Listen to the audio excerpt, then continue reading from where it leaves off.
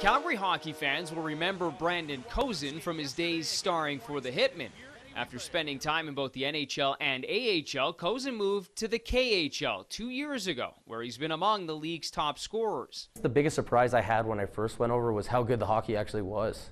Um, you know, there's there's such good players playing over there that I think could easily be in the NHL.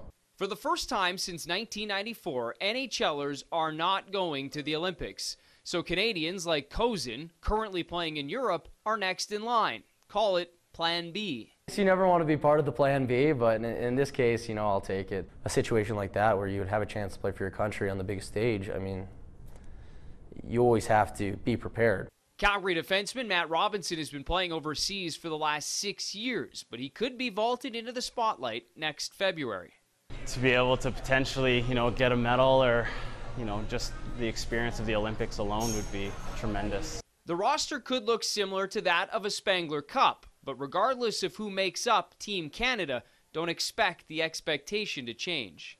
Well, I can tell you that it'd be a good team for sure. It's, there's there's good players all around the world.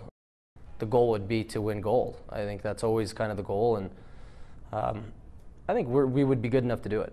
We wouldn't go over there just being happy just to be there. I mean, we'd be wanting to win and not let our country down. Hockey Canada is currently working on playing a series of tournaments in Russia as Olympic auditions, scheduled to start in early August.